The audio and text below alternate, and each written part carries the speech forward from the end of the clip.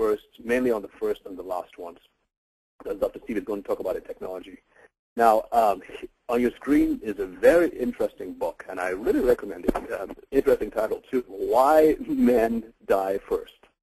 And this lady, she's a, a, very well-respected doctor in New York, and this book just came out this year. I, have been going through it, and it has a lot of great information. Uh, yeah, it is a fact that men leave before their their wives or their spouses, and um, one of the reasons, she gave many reasons, right from conception to to um, to the to the pregnancy. It seems like men are a little, little bit at a higher risk than women are. Anyway, lots of great stuff there. She talks about all kinds of the diseases that men are more prone to. So I encourage you to get it. However, uh, she talks keeps on bringing up the question of risk factors. E.g., for instance, if for lung lung cancer, a good risk, a common risk factor developed that is smoking, and of course, with heart disease, a common a common risk factor is high cholesterol. Anyway, as I'm reading this, uh, uh, this thought just hits me, and I'm thinking, well, here we are talking about risk factors. Well, why don't we talk about um, things that will help to build your health? Not just about the risk factors, but things that help to build your, your, your health. Because with risk factors, basically what they're saying with risk factors is that if you do these things, you are more likely to get it. Well, let's let's let's flip that and say, well, if you do these things, you are less likely to get certain conditions. Let me, give you a quick example. In cultures around the world that have a very high diet, um, a diet rich in fiber, a diet rich in fiber, in many of those cultures, um, things like colorectal ca um, carcinoma, cancer of the, of the, of the, of the gut, is, is rare because, in a way, high fiber diet puts you in a position to avoid um, the toxins and the things that actually damage your colon and predispose you to cancer. So my whole thought is, well, why don't we focus on building strength? And so that's really the, the whole idea and the philosophy behind our webinars. And we are so, so glad to have uh, Dr. Steve here because he's really been a, a wonderful help and he's, he's got very um, people on the call for us to so guests to come and speak to us on different topics. And um, you, many of you probably remember this guy. His name is Dr. Harry Ellsworth, and he came to speak about that Nobel Prize winning technology concerning arginine and the nitric, nitric oxide pathway. We now know that it is quite possible for your body to repair damaged blood vessels and also remove plaques, um, even the worst kinds, and it has been proven in the lab. So um, and again, we had him on our webinar a couple of times, and actually we, we have a we have a PowerPoint of the presentation and an MP3 available, don't we, Sherry? Yes, it is on the home page. Okay, great. So it's on the home page, and if you ever want, if you want to listen to it, uh, it's available at a, at a cheap rate, and you can just go straight there and, and listen to it. Remember, all what we're talking about are just pieces of the puzzle. There is no one thing that works for everyone. So uh, again, the idea is for you to keep getting informed, keep, keep getting more information, and hopefully you'll be able to piece things together and do what is best for you and your family. All right, I've said a lot. it's time to for us to talk about our guest. And Sherry, we want to you want to uh, introduce Dr. Steve. I would love to. Thank you, David. Okay, Dr. Sami he graduated from Western State College of Colorado in 1976 with a BSc in biology, emphasizing human performance, anatomy and physiology, with a minor in psychology and health education. He completed his Doctor of Chiropractic degree in 1980, graduating from Logan College in St. Louis, Missouri, and has been in active practice ever since. Where the state requires 15 hours per year of continuing med medical education, Dr. Sami has averaged over 50 hours each year of postgraduate education. He is the owner of Sami Wellness Center, a multidisciplinary practice in Longmont, Colorado, which provides massage therapy, physical rehabilitation, reflexology, meridian therapy, laser therapy, as well as the latest chiropractic technology, the Pro Adjuster. The Wellness Center also has a nutrition department which utilizes research based on validated product lines. The newest services offered at the center are cardiovascular screening and bone density testing. providing valuable data and immediate results to the client. Dr. Sami lectures on a variety of topics and is licensed in HeartMath, the only scientifically proven system of stress reduction on the market.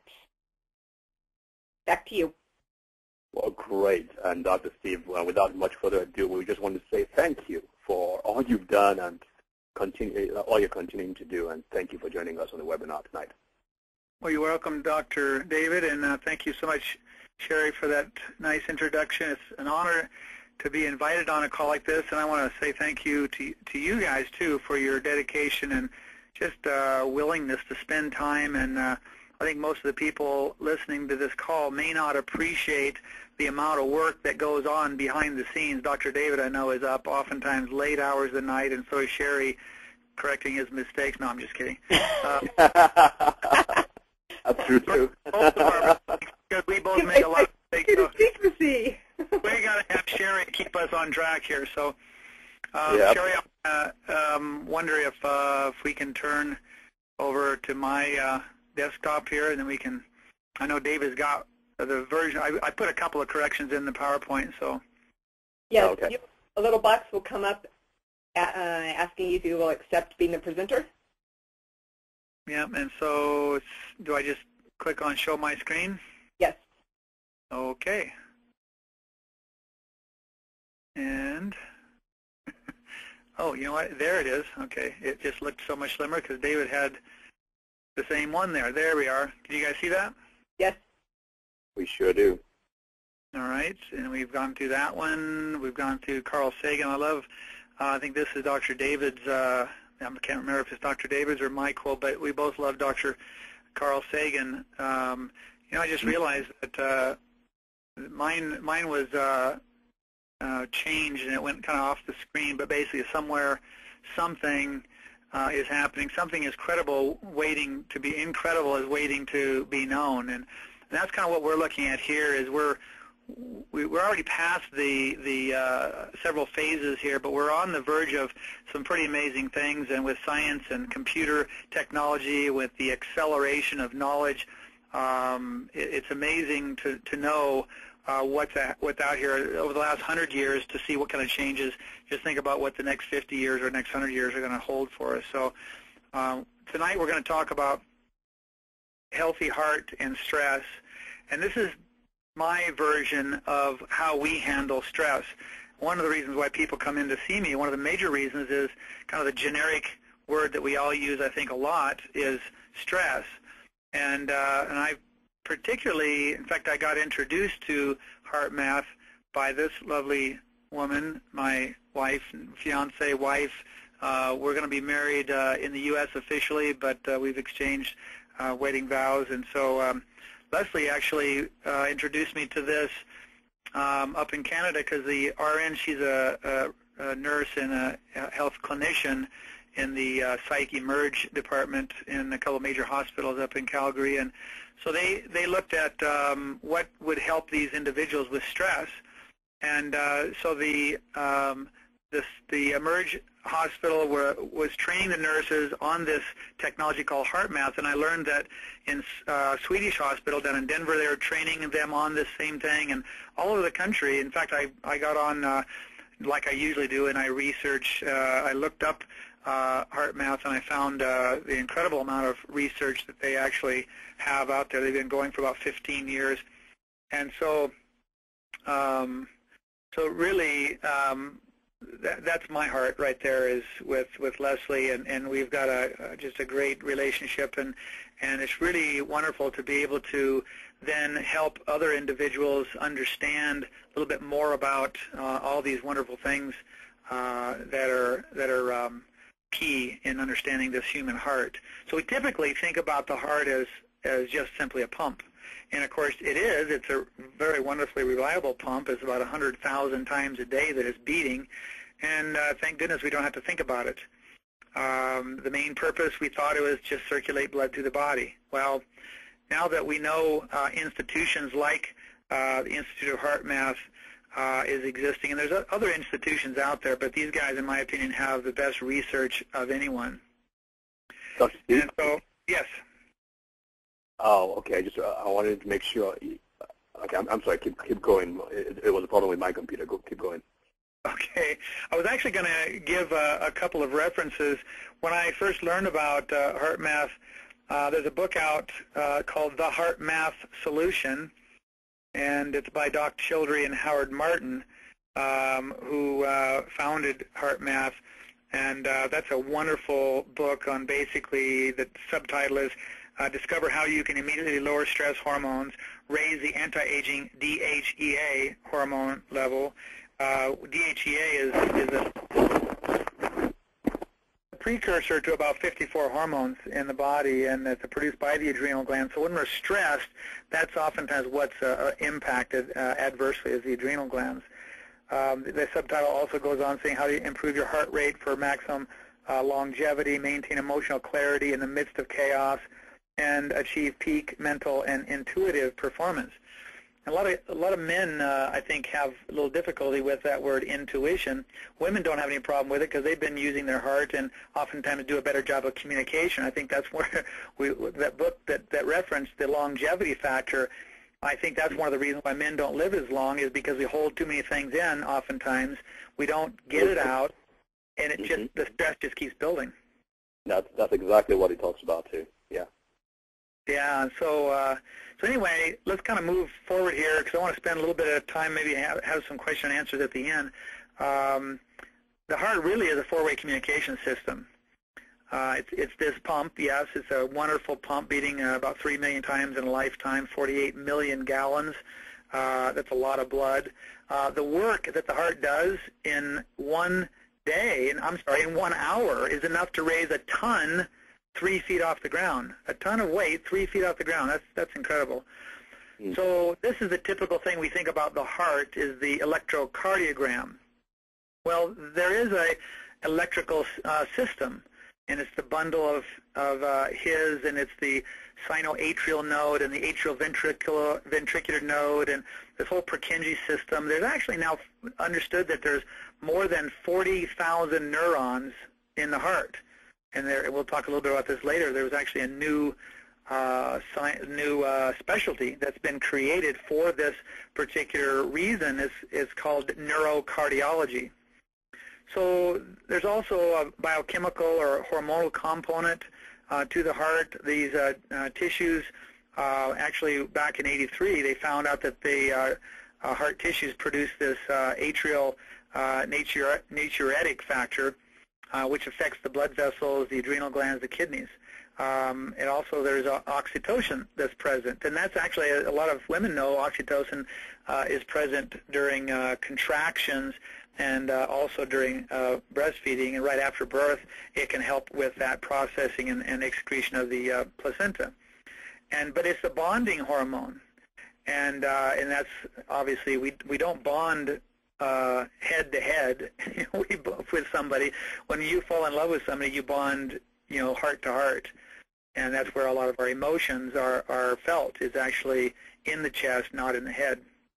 Mm-hmm. This is obviously a picture of uh, blood vessels and the erythrocytes simply flowing through there. So the heart does an incredible job of doing that.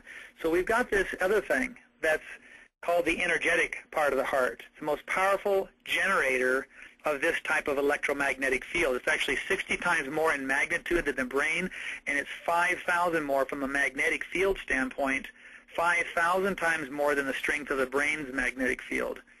Wow. And it can be detected several feet away. When you use these magnetometers, you can actually uh, detect uh, these magnetic fields of the heart. And actually, uh, HeartMath is doing some pretty incredible things from a large uh, global coherence uh, uh, process in terms of being able to, to look at large populations. Uh, but um, that's kind of another subject. But if you if you do go to uh, www.heartmath.org, and just go to the Global Coherence Project. It's a pretty amazing thing that's going on. Um, so we have the capacity to affect others around us, and we all know that. These are things that we don't really talk a lot about, but you come into a group of people, a crowd, let's say, maybe after church or after a, uh, maybe at a party, and when you come close to people, you have a feeling. You have a, maybe some people would call it an intuition and you sometimes know, and sometimes you click right away, and it's like, wow, I, I think I know you. Well, this is this is part of the heart, and this is this heart-brain synchronization. We're going to talk a little bit more about that. So, you know, it's something that just opens up a whole field of, of uh, things that we typically don't put into words, but we know it because we feel it.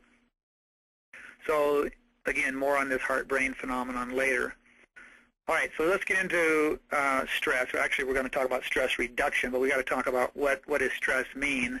A lot of people think it's a negative experience, but really, from a biological point of view, uh, it can be neutral. It could be both positive or negative. And uh, we know from uh, a study of, of uh, man that we have this ability to adapt as a species to stress. It's one of the things that makes us very unique on this planet. And so stress actually is what causes these adaptive changes to occur, these uh, evolutionary changes or genetic changes. And so is it really all bad? Um, sometimes stress will release these quite powerful neurochemicals and these hormones that prepare us for action. So, you know, if, if you're out uh, on the street and you hear screeching tires, uh, is stress a bad thing? Stress causes those adrenal glands to kick in the uh, uh, adrenaline, and you better get your muscles ready to move and quickly get out of the way. So that's a good thing. But obviously, when we have this fight or flight thing going on way too long, that'll start to wear at us. It'll start to wear at our immune system and, and cause all kinds of issues like sleep cycle disorders and, and irritability and things like that. So if if we don't, uh, Hans Selye talks about this in his uh, book Stress Without Distress. He was one of the first endocrinologists, a Canadian, to uh, to say that there is such a thing as as a normal stress, but that if stress gets too much, then our body goes through these three phases. It's an alarm phase, quick flight or fight relaxation.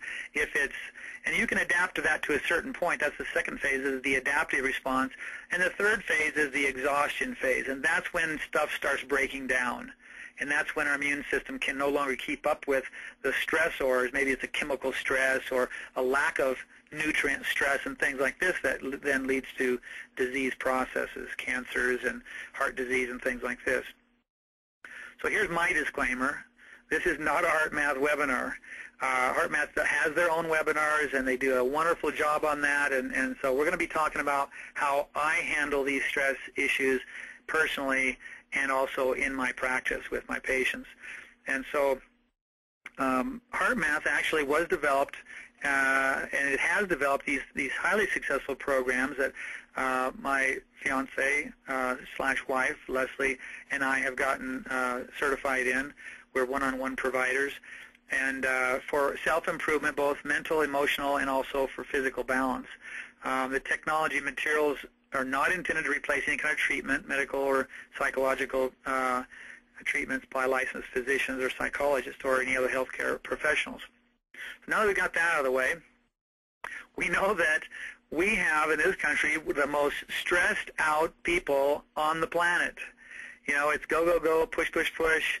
Um, we don't have enough time in the day to get all the things we want to get done. And so we've got all these external stressors, uh, family, career, relationships, money, kids, you know, the war, gas prices, uh, elections, voting, grades, you know, if you're going to school, you know, we got these grades of other people's expectations of us. This could be quite a stressful thing.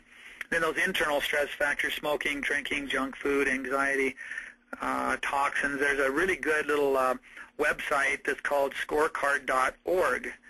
And, uh, and that can basically show you in your particular area, tell you, put in your, your zip code or whatever, and it'll tell you what your um, stress factors are as far as toxins. So this is uh, a couple of definitions of stress, but we know that there's a lot of wear and tear uh, that the body experiences, everyday tensions and pressures, changes in uh, change. A lot of change can cause stress, illness, injury, uh, career, lifestyle changes are very common. There's a Holmes Ray stress test that that measures a lot of these um, major stressors and kind of gives you a rating of what your stress quotient is. Uh, but really, what stress is is the emotional pressure and the tension we feel in response to these things that are coming at us all the time. And uh, yes, Dr. Do you uh, let me ask this um, because I like to always get to the bottom line in some things. Uh, if you were to mention the top three emotional stressors that we should avoid at all costs, for instance, what, what, what which three would jump to, to your mind or would leap to your mind? Well, you know, they, we, were, kind of going in that direction, but, uh, you know, everybody is different. And, and it really is not so much, you've heard this statement, it's not so much what happens to us as what happens within us. Right, now, right. there's nothing, you know, there's nothing you can do about death of a spouse. That's that's something that happens to us, and there's going to be some stress involved in that. And uh, but if you don't have the tools to be able to handle those things that happen to us, so I'm kind of avoiding that answering that question because it's going to be different for everybody. If you take a, a poll, yeah, you kind of get some uh, some agreement, but I really think in, in general terms that it's really the person's uh, and there's so many psychosocial factors that come into play, but a lot of times you can change that. Just because you reacted to it in the past doesn't mean that you have to be reacting to that stressor in the future, especially when you have new knowledge and you can then do different actions. And so, um, so I think we're going to answer that question, but but is is that okay if we just be generic about it? Sure, sure. Okay. So how does stress affect health. It really affects us in the mind, body, spirit, physically, mentally, emotionally. Uh, the Institute of Stress says that 90% of all health problems are related to stress. Now, at the beginning, I didn't I didn't buy that so much because as a chiropractor, I'm thinking, no, it's it's caused by uh, joint problems. It's caused by lifestyle issues, and and uh, but you know, really, it, it's yeah, the the things as you react to certain things then you're going to have a certain lifestyle based on that reaction. Some people eat when they're stressed. Some people smoke when they're stressed. Some people, you know, have junk food and things. Like some people exercise when they when they're stressed. Well, that you know, there's certain things that we can do that are detrimental, and certain things that we can do that are healthy. If you exercise too much, then obviously there's a there's a a certain limit to that as well. But when you start looking at the blood pressure, disease, heart disease, the strokes, the depression, sleep disorders, um, a lot of these things are centered in the body's response uh, to these these uh, factors in the environment. They're an emotional response, and we kind of generally term them stress. So now, if you have a, you should have a box somewhere on your computer that you can give us some input, and uh, maybe uh, Sherry or David could uh, read that. I'm sure I'll probably have that somewhere, but I'm actually paying more attention to my screen than in the box so they can maybe jump in. So just if you want just put your first name in and just say, you know, what are some things that stresses you? Um, we know that uh, you know it's it's nice when we can have some somewhat of an interactive uh, web webinar here, and so you know I've thrown out a lot of things here, um, but you know sleeplessness, Dr. David, is probably one of the top ones uh, right there. If a person is not getting sleep, and I think we've all gone through those phases where, you know, after a day or two of not sleeping very good, you don't respond very good to what's going on in your environment. You just like just completely physically or mentally or emotionally just don't handle things very well. And uh, so anyway, we know that uh, the economic situations that are going on, that puts a lot of stress on people, and or I should say they react in a stressful way. And uh, the news, you know, somebody said uh, to a minister, they said, you need to take a news fast. He said, what do you mean a news fast? He said, by the by the sound of your sermons, uh, it's all bad. He said, you, you, you must be reading the newspapers a couple times a day and watching the news programs two or three times a day. He said, how could you tell that? He said, it's because it's reflected in, in what you're saying. So he did go, he completely got off uh, the news because most of it's bad anyway. And, uh, and he said that it really made a big difference. We know mm. that this stress increases the adrenal cortisol. And cortisol, you can measure it in the blood, measure DHEA. They're kind of uh, uh, almost like on a teeter-totter. When one's high, the other one's low. And uh, one of the things that I, I don't think we've gone into, but if you go to heartmath.org and you look and you just type in cortisol, maybe cortisol and DHEA, you'll find their study. And their study showed that six weeks of doing what we're going to talk about at the end of the webinar, doing some of these stress-reducing uh, practices, six weeks will, will decrease cortisol by, I believe it was like 23%, and raise DHEA by 100% on the average, which is huge. we know that when cortisol is high, sleep disorders occur, irritability, anger, depression, cardiovascular disease, bone density problems, immune suppression, blood pressure. It, it affects just about everything adversely in the body. And so the American Institute of Stress, I think Sherry put this out on the uh, invitation on the webinar, that stress is at the root of burnout, and it costs the industry, U.S. industry, 300 billion. But more serious than that is the loss of, and Dr. David, I know you know a lot of guys that have been in that place. They've gotten burnout because of the emotional job, you know, job demands of, of uh, you know, oncology or, or radiologist or some of these guys that are especially emergency room doctors and nurses. That's one of the reasons why they use this in the emergency rooms in uh, Calgary and also uh, uh, taught the um, nurses in uh, Denver, and they're still teaching them these HeartMath uh, procedures because of that burnout situation. Mm-hmm. So the job turnover rate is quite high, and, and in many cases, uh, I know, for for example, in my profession, uh, insurance is uh, just getting out of control. It's terrible. The the lack of coverage, uh, the high rates of uh, premiums and copays and deductibles, but the low rates of coverage is really forcing a lot of doctors out of business. So there's a lot of stress everywhere, but particularly we talked about this one at work. One of the things that it does, and Dr. David did such a good job on uh, talking about neuroendocrine system in, in one of his previous webinars, when, when you don't have a balance or you have a dysfunction in these hormone, the hormonal system, it causes this autonomic nervous system dysregulation, and it's just basically an imbalance. Um, you know, and we feel that by, uh, yeah, you, you sometimes need to get a blood test and go to the doctor and have a evaluation, but a lot of times we describe it as something's just not right. Uh, athletes typically say, uh, I'm not having a good day. I'm, my timing is off. Um, and, and, you know, the opposite, when, when everything is in balance, we call it being in the zone. HeartMath just did a uh, official uh, webinar last night on the zone. We know that the zone, everything is functioning at, a, at an optimal level. Your communication is good. Your coordination is good physically, when you have that mind-body working in synchronization, um, it's incredible, the, the things that can happen in terms of physical performance. And also mental performance, I, I hesitate, I, I don't hesitate to say that all great works of art and all great artists from a mus musical point of view, they're in a synchronized state, mind-body. Typically, they're not like all whacked out and, you know, drug addicted and all. they, they typically have pretty good balanced lives.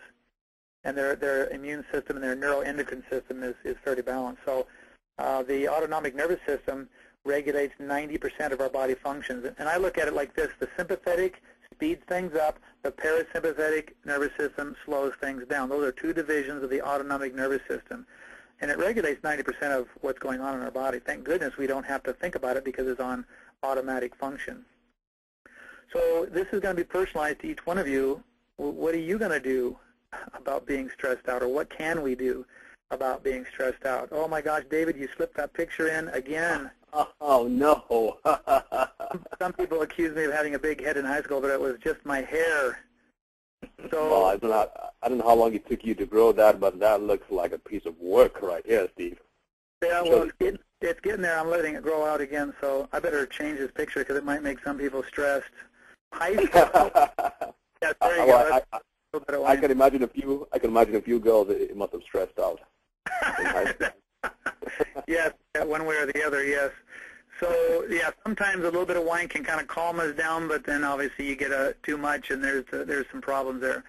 Uh, so here's what a lot of times we we think about and doing when we have stress. Adrenal support is very important, and, and you notice that's the number one thing. There's a lot of ways. We're not going to go into all that. Uh, David's had good webinars on nutritional, adrenal support, um, time management. You know, that, that can really easily get away from us. So getting that under control can really help a lot. And physically, you know, the hot tubs, the exercise. Okay, just breathe. Relax, everybody. Take a breath. Sit back. Get your posture right. Straighten your shoulders out. Did you notice how you were sitting when I when I said sit back and bring your shoulders back and take a deep breath. One of the things that does, we'll talk about that in a little bit, but it just helps that heart-brain synchronization. Relaxation techniques oftentimes have these um, methods, these breathing uh, techniques involved, um, spiritual healing, social support, and we talked about the nutritional supplementation. So they're all helpful to one degree or another, but really the question is, how do I feel about some of those events that are happening to me? You know, what this is what determines if you're stressed or not is is your emotions. Now, I know guys have a hard time with that. You know, how do you feel about this and how do you feel about that? But really, it's it's a it's an incredible thing. And, and I think a lot of times when a, a man has a heart attack or a stroke, oftentimes there is tremendous emotional release because they've been holding a lot of that stuff back. We know that part of that is is the way the brain's uh, affected from a stroke. But uh, and, and of course, when the heart that's a scary thing when the heart starts to do funny things and we start thinking, uh-oh, is this is this it? Is this the big one? Uh, those emotions can have a huge impact, and I and I say to most guys, you need to kind of get in touch with that, get in touch with what's going on, and and look back at um, maybe some of the things that are really uh, eating at you, you know, bothering you, and uh, this is a great way of doing it. Um, this is reminding me of a place that uh, I, I visited in um, Jamaica and uh, and we were just in Bali, and we saw some very incredible places just like this. And you just kind of feel, just get put yourself in that picture, and just take a couple of breaths. And uh, you know everything is so green because it's so humid, and uh, boy, you know you, we need to take a break physically. And I, I learned that a, a lot from my uh, my wife, uh, Leslie. I learned a lot uh, that you got to take time to enjoy life and, and take a break from that push, push, push, go, go, go. But we're talking about positive emotions. And uh, and I know uh, Dr. Bernie has has really covered a lot of this in his uh, Love Medicine Miracles, and Dr. David and he have done some great webinars uh, that I know they're going to be continuing to do some of these in, in the in the future. We know that positive emotions uh, like appreciation, care, love, they not only feel good, but they're also healthy. They're healthy for our heart, and they actually help us produce these healing hormones. They help the body's organ systems in this synchronization process. And, and, and we use a term called coherence. We'll develop that in maybe in the next few slides here. Rene Dubos said that what happens in the mind of man is always reflected in the diseases of his body. And I agree with that. I see people that the more stressed they are, the more tension in their muscles. I see it every day in my practice and in the chiropractic and wellness center here. So there's a lot of ways of, of handling stress. We covered a few of these things. You know, the spiritual aspect, that I think, is a very important part of this whole process with meditation, spiritual healing, scriptural reading, regular attendance, at, at functions that are of like mind. And what it does is it gets you around people whose heart and mind oftentimes are very synchronous, and oftentimes you'll start to identify with them. And, and really, it, it, it just raises everybody, raises everybody's feeling of, of caring for each other. Uh, Chris uh, Roythorne, uh, the Chief Medical Officer of British Petroleum, mentioned using some of these HeartMath techniques. And they have global a global organization. They have a huge organization all around the world. And so this, they said that this level of blood pressure reduction, if repeated in a large clinical trial, would reduce the incidence of stroke approximately 60 percent. That's huge. So we know that stress does have an impact on many areas, including the vascular system of the body. So there's other ways to handle stress, social, emotional support, uh, strengthen close relationships. You know, I think what was maybe left out here, uh, pets. Um, that's a wonderful uh, uh, way of being able to show that love and caring for uh, another living organism. Right, right. Uh, even even right. fish. well, well, um, there's a research that's out there that says that um, dogs are actually the best stress even more than the spouse.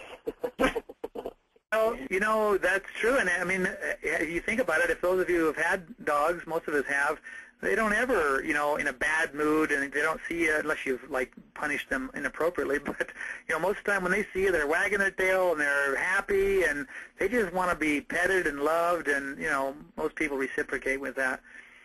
So obviously, we've got this uh, emotional support factor. We can strengthen close relationships, practice forgiveness and gratitude, become involved in work uh, that's in line with what you love to do. That's one of the things that I really I know it. I can feel it in every cell and, and fiber of my body. At the end of the day, um, I, I, I actually am more energized because I'm doing what I know I not only love to do, but I know what I'm meant to be doing is helping people.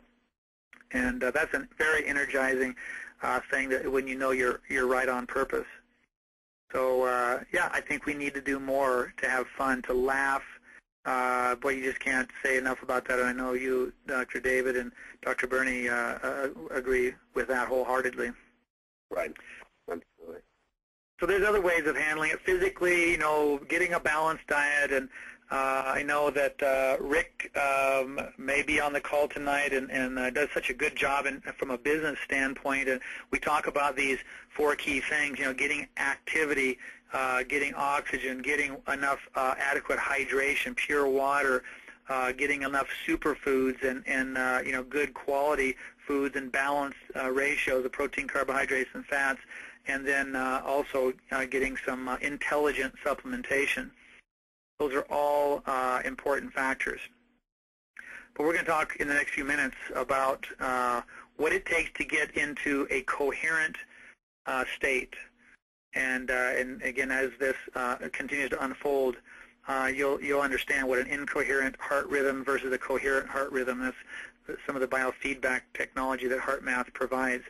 When you look at the screen, um, you'll see oftentimes when I first purse, this is exactly what I do in my practice.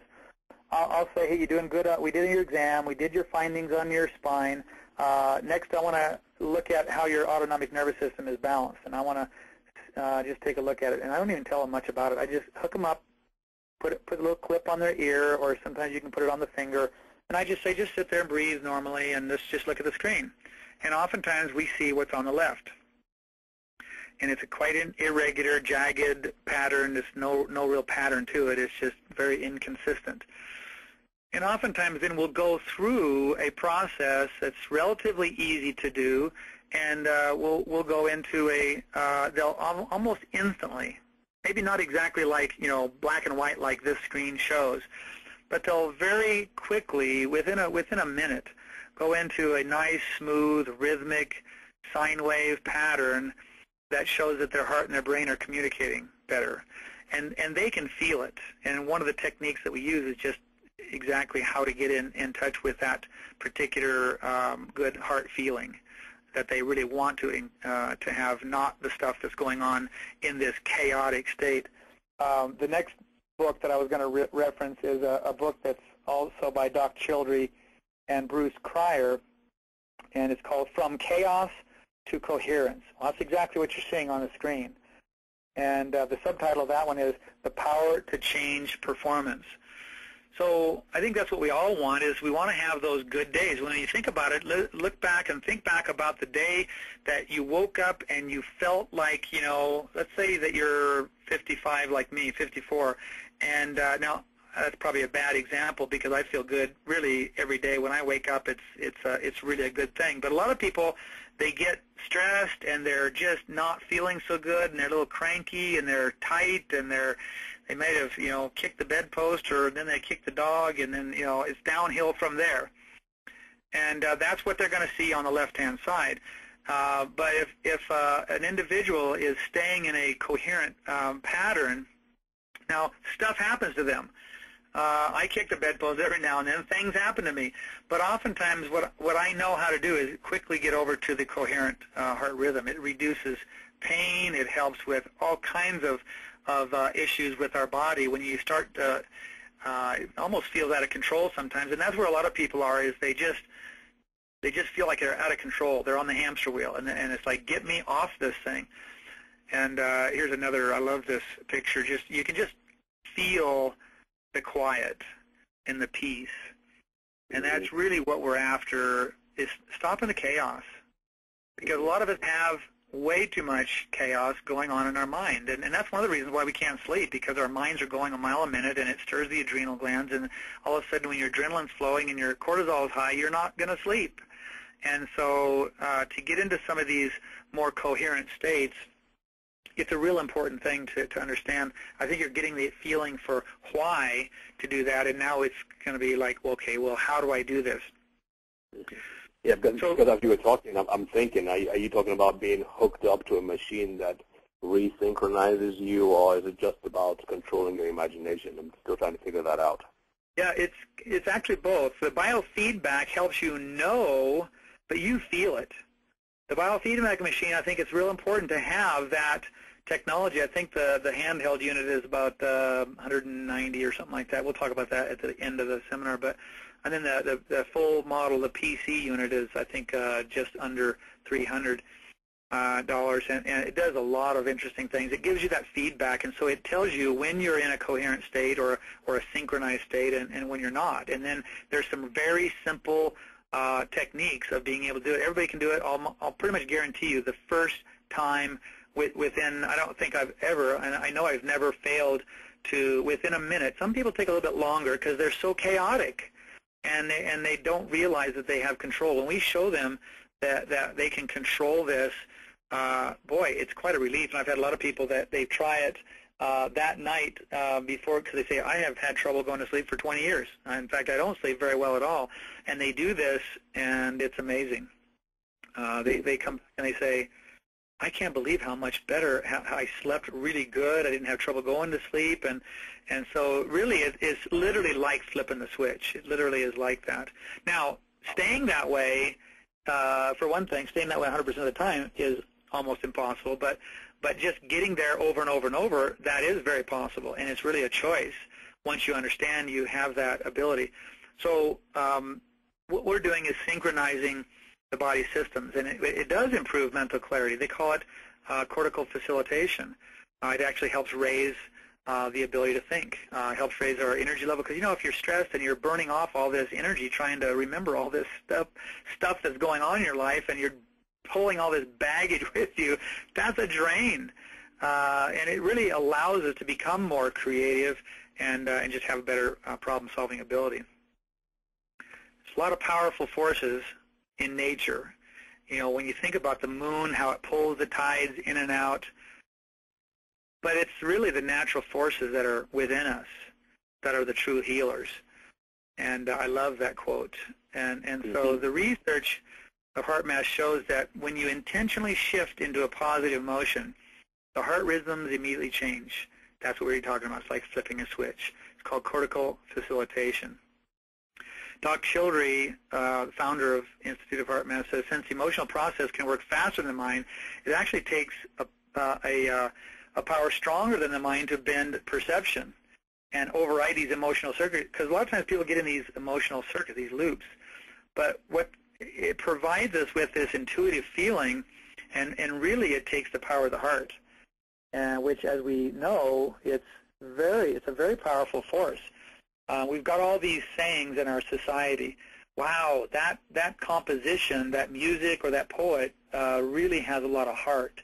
Or he gave it all his heart. Or uh, what does your heart tell you about this? Uh, these are very powerful things. So um, a little bit more about the definition of coherence.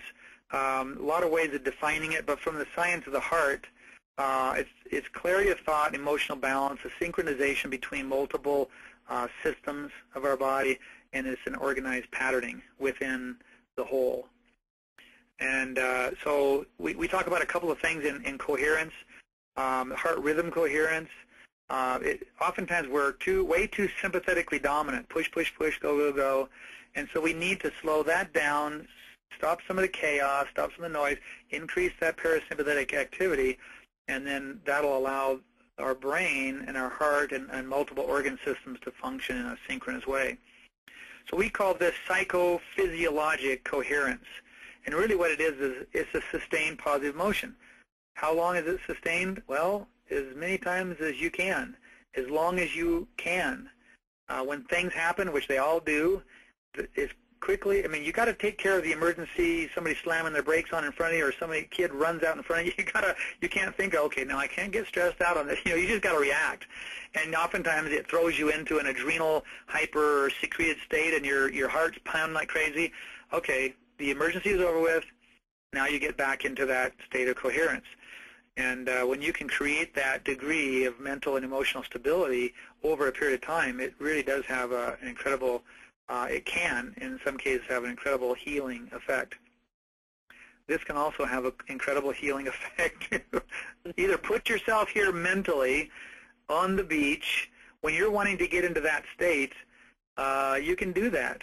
And you think about the, the best uh, uh, frame of, we're not going to go through the all the details of what it takes to get coherence because I think it's really uh, important. I mean, we're covering some of them, but it's real important, I think, to have that uh, feedback, uh, being able to, to, you go through the, the steps of coherence, and then you go through the, um, uh, we call it quick coherence. You, you go through the, uh, uh, the feeling, and then you also see it on, on the screen, and, uh, and it's, a, it's a pretty incredible thing. So this specialty, we talk, we talk about neurocardiology. I mentioned before. The book, Neurocardiology, Neurocardiology, Anatomical and Functional Principles by Andrew Armour. Uh, it's groundbreaking research that really tells us that heart is a sensory organ. And a lot of us kind of know that intuitively, but they've proven it. And uh, we know that this heart-brain connection, the heart-brain, and it's actually inside the heart. There's a small little brain in there. It's not like our, obviously our big brain, but it's a collection of all these neurons. It can learn, it can feel, it can sense and remember independently of the cranial brain. And wow. so when when this opened up to me, you know, it's one of those things where I, like I've said before, I knew it. I didn't actually have the words for it, but I just knew that that was going on, and now they've proven it scientifically. And that area is actually a very, uh, it's a very fairly new, but it's it's just growing like crazy, and it's just fascinating to see uh, this this whole process um, our emotions drive our brain and our hormones into either a coherent state or a chaotic state. We know that when you have that feeling of appreciation, care, love, we feel that, and that really, you know, when you when you think about that, it really is one of the key components in putting us in a good state. And so this this neuroendocrine system and other systems are organized by these emotions as well. So now um, there is a uh, tutorial, and I want to play this. It's just a real brief one. Um, yeah, we're doing okay on time, aren't we? Sure, absolutely. We're doing good. Put to this tutorial uh, at uh, heartmath.org. Actually, I'm sorry. Uh, heartmath.org, you can see a couple of video streaming programs. This is actually uh, on the emWave PC unit. It was formerly called the Freeze Framer, but this is the one that's, uh, I think it's about $300. And um, so we're just going to go to the tutorial because there's all that information on the tutorial. And uh, I'm going to go to the science area, and uh, it's only going to be eight minutes, so just kind of pay attention here. I'm just going to click on these bars below. You're going to put this next to your speaker? Yep. I think the key research discovery in HeartMath has been the connection from the heart to the brain. Traditionally, we've learned that the brain is in charge of everything, that all the signals come down from the brain, and that the brain is in fact the master computer, that its signals come down and influence the heart and the rest of the body too. The most fascinating thing for me is that the heart, which is in my area of expertise, is the mainframe. It sends abundant signals to the brain, which then sends signals all over the body. It sets the tone, and the interaction of the heart with the brain allows higher centers in the brain to function differently. This bit of information, I think, is the most central piece of research to come out of this area. That was Bruce Wilson, cardiologist, and this is exactly what I do with my patients. After they, after I put them on the the monitor and I see where they're at, and uh, then I prove to them that they can make that change, then I show them kind of what we did. The source of the heartbeat is within the heart itself. In the many presentations I've done over the years, I find that about half the people in the audience believe that the brain sends a signal down to the heart, and that is what makes the heart beat. That's clearly not the case, however. The source of the heartbeat is truly within the heart itself. Electrically speaking, the heart generates by far the largest rhythmic electrical signal in our body. It's about 40 to 60 times more amplitude than what the brain waves are. So every time the heart beats, that electrical wave, the electrical energy permeates every cell in our body. We can measure the heartbeat, called the electrocardiogram, by putting an electrode on your little toe, your earlobe, anywhere. So that electrical energy is binding together, in a way, all the cells in the body.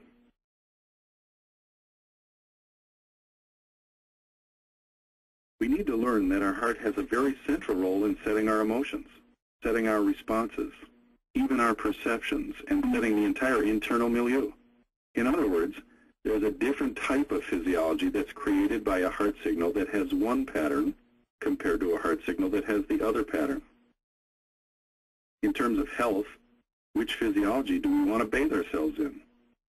Do we want to bathe ourselves in stressful physiology that creates the production of lots of hormones that raise our blood pressure and have many other widespread effects? Or do we want to bathe ourselves in the type of physiology that's really quite beneficial to us?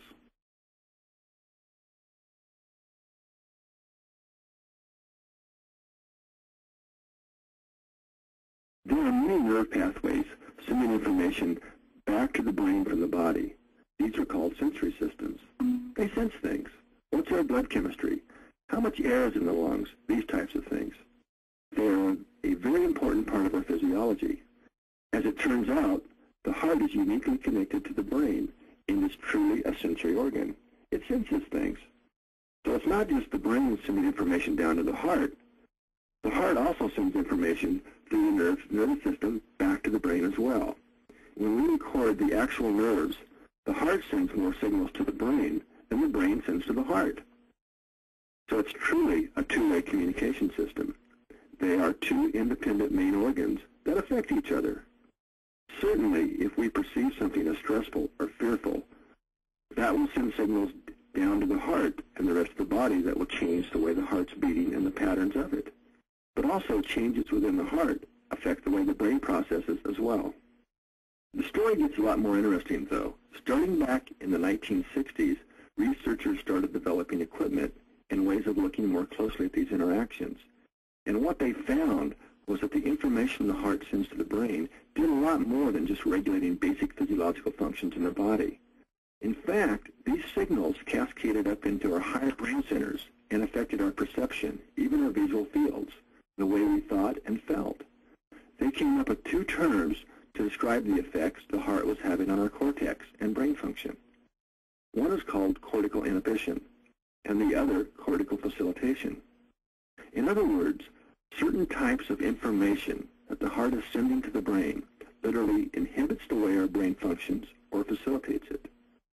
In the writings of these researchers, they describe the heart as if the heart had a mind of its own, but what they didn't know then, and what we know now, is that the heart has a very complex nervous system of its own.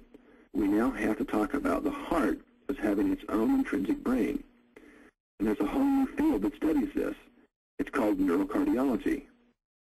There's a very complex nervous system and brain within the heart itself that can and does function independent of the brain. It's why a heart transplant can work. That little brain in the heart goes with the heart when it's transplanted an important new tool for looking at how the information flows between the heart and the brain, which helps us start to understand and unravel some of the mysteries here, is a technique that we call heart rate variability, or heart rhythm analysis. When we plot our heart rhythms over time, we find that our heart rate, if we're healthy, changes with every heartbeat, and complex patterns emerge. These patterns are different based on how we're feeling. So now that we know we have a nervous system in our heart, and this communication system exists, we can start to understand why we associate our hearts with feelings.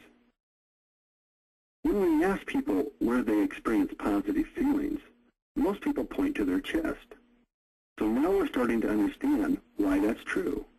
There really is a nervous system and a little brain in the heart and a whole communication system that explains this.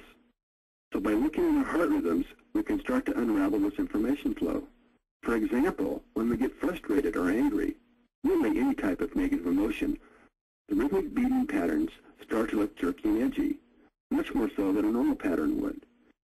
This effect on our brain is to inhibit the cortex, so we can't think as clearly.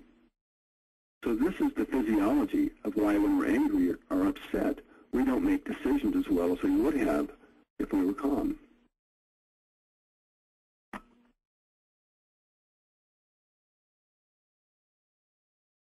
Heart rate variability, as it turns out, has a couple of different signatures, if you will.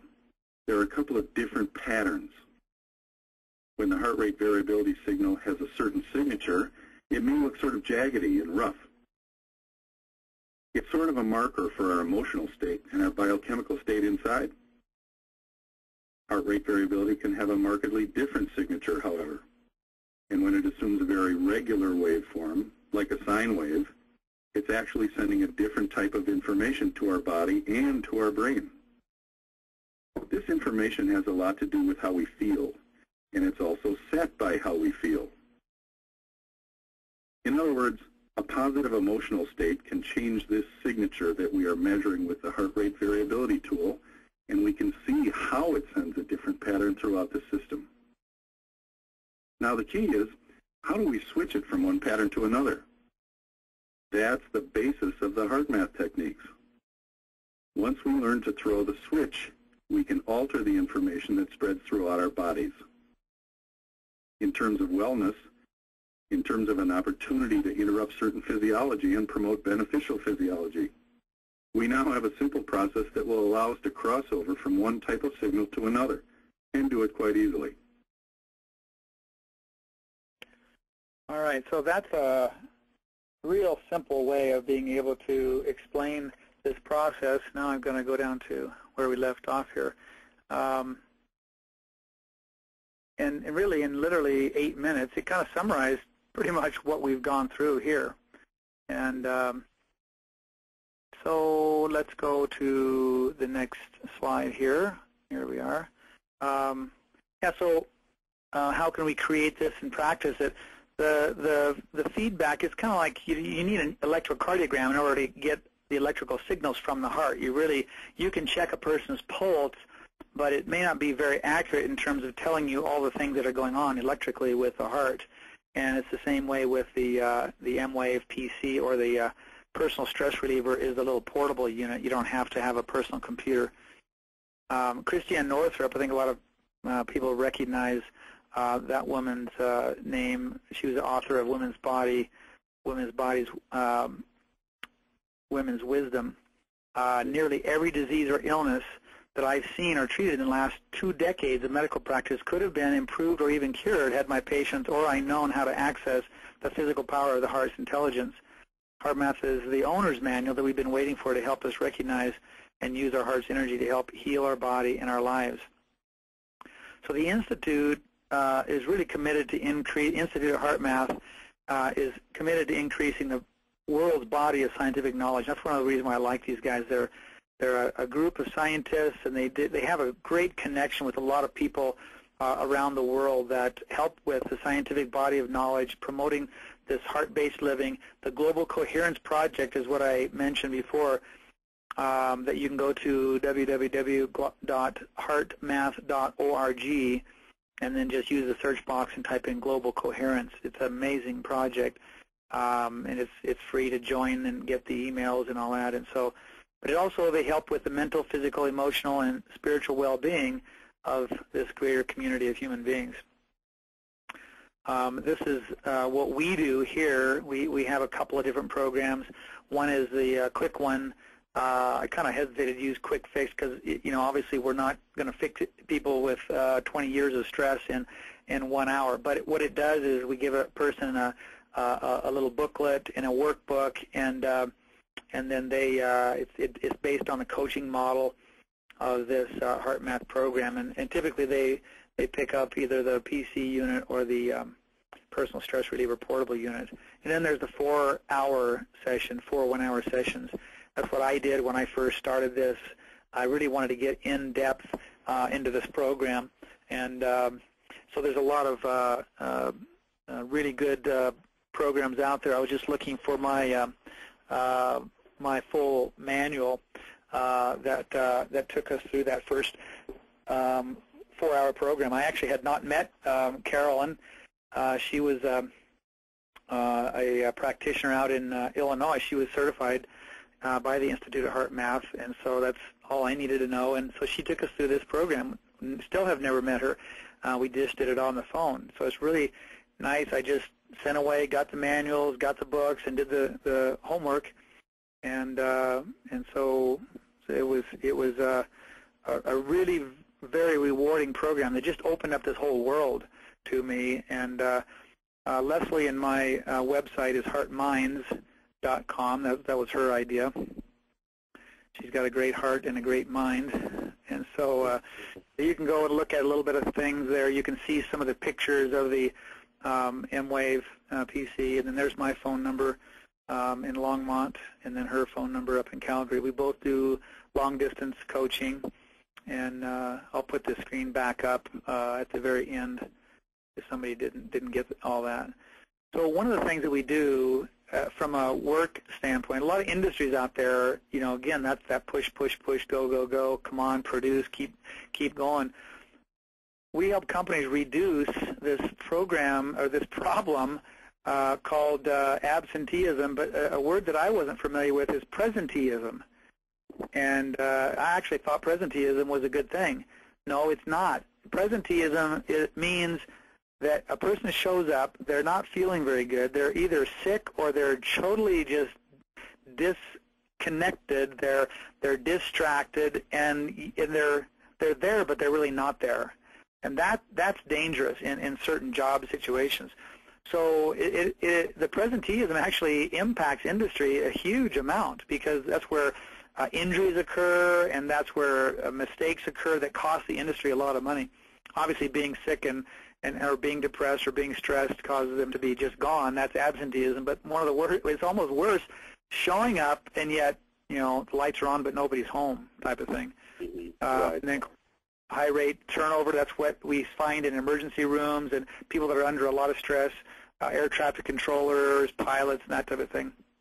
Um, it increases that uh, um, uh, turnover rate. So we help to, to lower that down and increase productivity and, and putting a cost to this healthcare crisis that we find ourselves in. Uh, I think stress is uh, is a big part of that. It's at the root of a lot of these uh, issues. So take a breath, relax.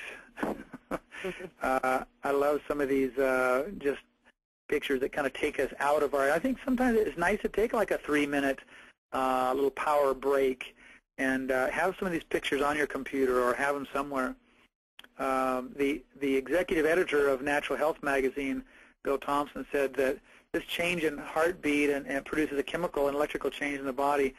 And if it were a pill, it'd be called the most important medical discovery of the century. And uh, some think that this HeartMath may be anyway, in any case.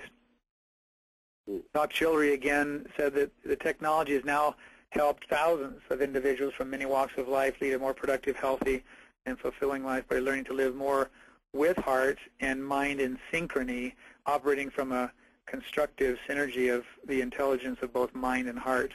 You know, you, you can just hear the the coherent state. You know, coherence was a, is a visual term also, and it means to see clearly. And these guys have a, a really nice vision for the way they want things to be in, in the world and in, in our lives. And and I think a lot of people, and this is one of the reasons why I got licensed in this, and I try and mention it with everybody at one point during their treatment program. And, and in fact, oftentimes I'll just take a person into the room and I'll, I'll just hook them up. It'll take about a minute to find out where their balance is in their autonomic nervous system. And uh, it's such an important part, I think, this whole uh, balance. Now, the, you you talk about the, the DPA machine too. How do you use the, the two of them together? Excellent question. Uh, that, that's really interesting that his whole thing kind of came about. The digital pulse wave analysis is uh, what Dr. Harry talked about in depth, and, and I also became a certified technician. I love technology, and, and this is a way to measure with laser-like precision because it is a laser. It's a light laser that measures the arterial compliance. So it measures how flexible or how stiff the arteries are and gives us a grading of the person's uh, cardiovascular system. So, for example, um, I do a lot to take care of myself. I'm 54, and I measured as a, uh, a 25, uh, actually it was a 35-year-old, and my, the flexibility of my arteries. But I said, you know what, there's room for improvement. So I'm not just happy with, okay, yeah, I'm half my age or close to half my age. Um, so I wanted to continue to move it down, and so that's why we started on doing some, some intervention of some things that help to improve cardiovascular flexibility, like the, the arginine amino acid. And, but what's nice about the DPA machine is it also embraces heart rate variability.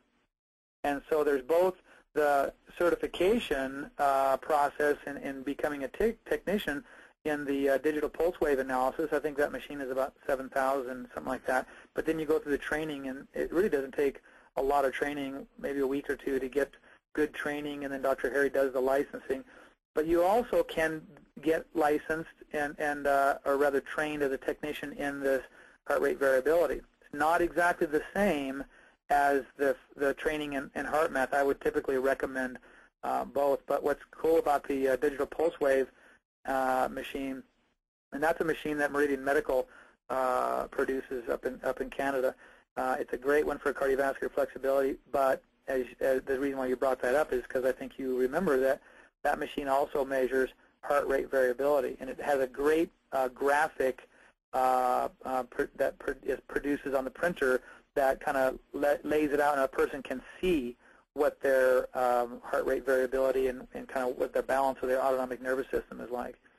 But the Institute of HeartMath produces uh, separate hardware, and that's the emWave PC, the personal computer, and then the personal stress reliever. That's the portable unit that you can take with you in your in your travel bags, or I sometimes even clip clip it on uh, my ear um, in the car uh, because it's very uh, um, easy to just listen to it, or it's it's a color coloration change on the machine, or a or a tone tonal change. So and that um, by just hooking it up, it gives your body coherence. It synchronizes everything up. So yeah, so what it does then, it, it gives you the feedback and it tells you where you're at. So if a person, uh, which oftentimes they say, uh, I don't think I like where I'm at. I got too much chaos. I got too much. So then we, we take them through, and this is what the the uh, uh, training is about. It, and again, it doesn't take very long. The one training is, is about an hour, but um, you do need, need to learn a little bit about the biofeedback uh, technology and then I think the rest of it is just it comes in practice. So the machine does not add anything to the body. I, I now I'm remembering where you were going with this. Uh, the machine simply is a biofeedback. It's actually getting information from your body, and it just reads it and it tells you here's where your state of uh, coherence is. You're either in a, oh. a low, medium, or high state of coherence. So if you're in a high state of coherence, that's good. You want that good brain uh, heart synchronization. But oftentimes what people find is, especially in certain situations, and sometimes when you put yourself on the machine and then you go back to a, maybe a stressful state in your mind, and then you say, oh, wow, that really throws my whole system way off there. And then so you can actually work on uh, bringing yourself into a coherent state, yet keeping that same thing in mind. So there's a there's workbooks that that go through that process, and and uh, booklets that, um, for example, one of the booklets I'm just moving out to my front desk and looking at, one is called Transforming Depression, Transforming Anxiety, Transforming Anger, um, the HeartMath approach to hypertension. Uh, these are all um, things that we take people through, and, and there, there's a workbook that goes along with them so they can then uh, go through the process of, of you know, regularly practicing and actually seeing from the biofeedback that they're getting into that state. And then it's just a matter of continuing to reinforce that because as we know the nervous system, the more you do it, the more it learns it. Okay. Dr. Steve? Yes. Um, somebody was wondering if they were interested in becoming a HeartMath practitioner. What's the process of getting certified in that? Yeah, so they do. Um, the, the, first thing typically is go through the uh, the, the four one-hour sessions, and uh, the um, the workbook can be mailed to them, and and uh, the couple of uh, books, uh, the uh, um, HeartMath solution, just so they can understand the background behind that, and then we just take them through those uh, four-hour. We, we schedule a time, and we we do a consultation on the phone, and uh, they go through a step-by-step process. And once they understand it completely, and if they say, uh, "I love this stuff," I, I'm, I can't help but tell uh, my my family, my friends, or if they're a practitioner, health practitioner here, I, I found the the uh, it's called the Voyage to Heart Intelligence. Uh, this is our what we used to call the manifest. Um, it's a it's a very large workbook, and that took us through that first four-hour training. And then, if if a person says, "Well, I want to get licensed," there's a three-day intensive program out in uh, Boulder Creek, California, and they would just contact um, the institute there, and, and they can find it going to uh, www.heartmath.org. They can get those phone numbers there. Okay, great. Also, somebody was wondering about if you used a DPA machine to measure the ANS.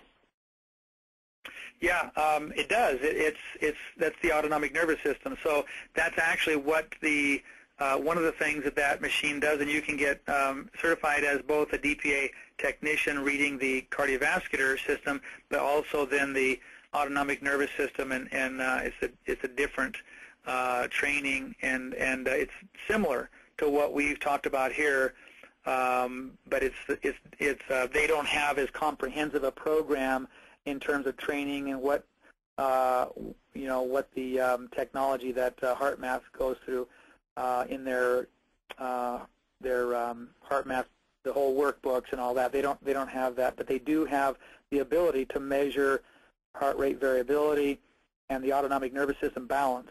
That's that's what you're asking. So, um, but most, in fact, all most of my staff has gotten the certification in the um, digital pulse wave analysis, and I just happen to want to take it a step further. I just found out about this actually while I was going through my training that that machine also measures heart rate variability. And so, but the the um, the little units that uh, I mean, the, if you don't have to pay seven thousand dollars, that's the good news about the HeartMath is it's uh, hundred and uh, ninety nine dollars for the um, the per, um, the portable unit, the personal stress reliever, and it's 299 for the um, full uh, personal computer unit, and that's got all the buzzer. That's got the training that I showed you. Some of the uh, I just showed you just a little bit, eight minutes. It's got hours and hours of the uh, tutorials and things like that. So, um, but you do that typically if a person wants to get certified, then they actually go out to the institute. Great, mm. thank you. Great. All right. Oh. How are we doing on time? Um, we're, we're doing we're doing okay. Um, any more questions, actually? Uh, it looks like you've answered all the questions. Thank you.